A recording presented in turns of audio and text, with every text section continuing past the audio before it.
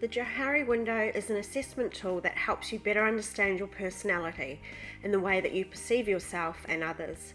You're going to get a simplified breakdown of what the Johari window is, how to use it to improve your self awareness and personal and workplace relationships.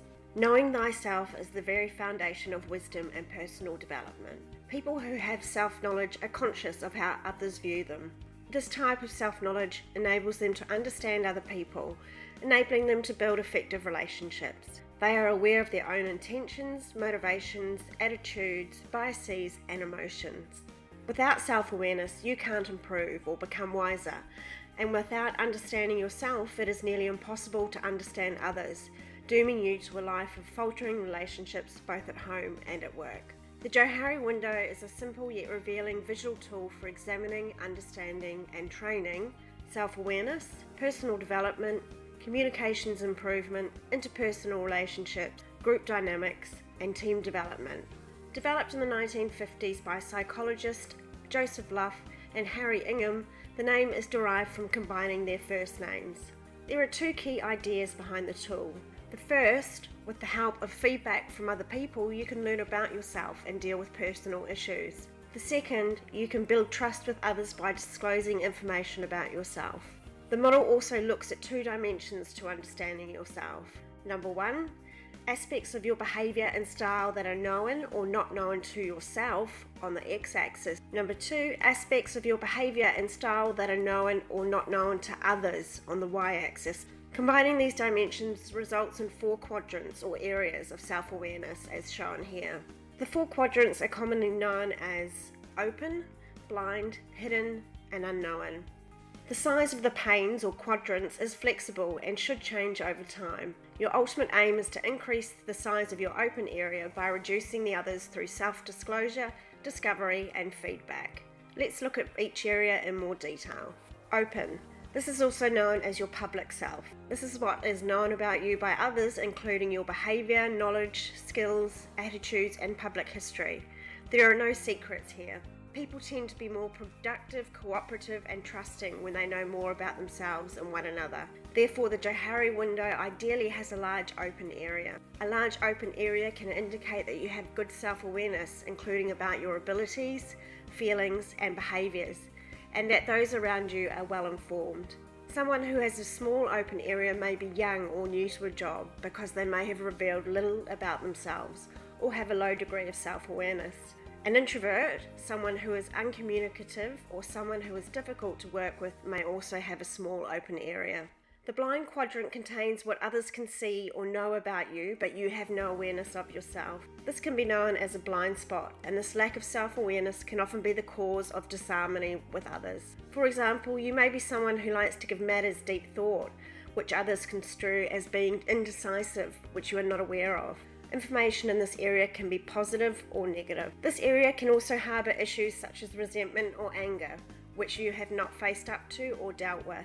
Therefore, you should aim to make the blind quadrant as small as possible by seeking and accepting frank feedback from others and using self reflection to identify behaviour that you are being naive or in denial about.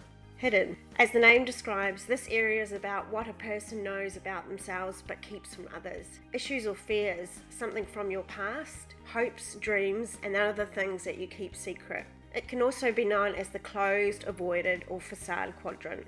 Making the hidden area smaller by revealing things about yourself can lead to greater trust, personal growth, and deeper relationships. The type and amount of disclosure you share with your personal contacts will be different to the disclosure with your work colleagues. Don't feel pressured to reveal personal things you are not comfortable with to your workmates. But withholding workplace information can lead to friction, tension, and distrust, which contributes to malfunctioning teams. Unknown, also known as the unconscious area where things are unknown to you and unknown to others. How do we know this square even exists? Information in this quadrant is revealed by taking on new experience. For example, you and your colleagues may not know that you have excellent people management skills until you are put in charge of a team. Working on a project may uncover excellent negotiation or stakeholder management skills. Again, the aspects that are revealed can be positive or negative. It is possible that a large unknown area indicates that you still have a lot to learn about yourself. However, it may also be a sign that you are still young or inexperienced. Reveal more of this area by getting out of your comfort zone and trying something new. You can end your use of the Johari window here with these informal techniques, or you can use the following technique with yourself and your teams for a more systematic approach. Look at the list of the below characteristics. From them, select the words that you think best describe you. Then ask colleagues if you are doing this exercise for your work self, or friends and family if doing it for your personal self, to select the words they feel best describe you. Draw the Johari diagram and fill in the quadrants as follows. Open. Write the words that both you and others choose. Hidden. Write the words that only you choose. Blind. Write the words that only others choose about you. Unknown. Write the words that were not chosen by you or others, but that you are prompted to consider as your self awareness increases. Ensure you accept the input from others openly and graciously. Do not make them regret participating.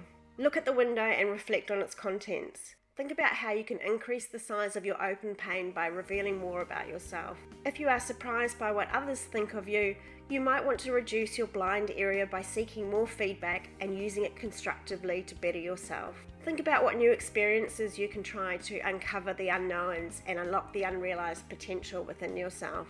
Having large open areas between your team member facilitates trust and easy communication as well as collaboration, effectiveness, and productivity.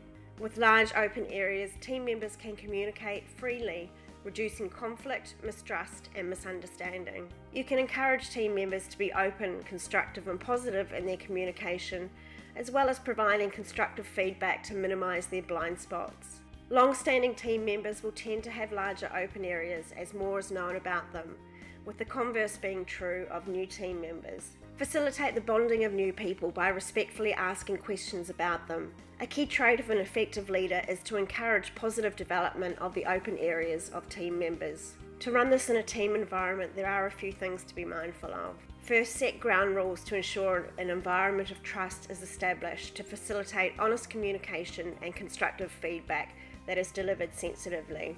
You do not want people to feel vulnerable, embattled, or picked upon by the experience. It is also important that no one feels pressured to share information that they are not comfortable disclosing. With this in mind, you may decide it's safer initially to undertake the process in a one on one scenario rather than in a group setting. Here is the complete Johari window model showing areas of movement and mechanisms by which to alter each quadrant. The Johari window is a simple but effective way to help you become more self aware and understand others' perceptions of you. And used carefully, it can assist in developing trusting, collaborative, effective, and therefore high performing teams. Add the Johari window to your personal and team development toolbox and commit to an ongoing expansion of your open area to reap the full rewards.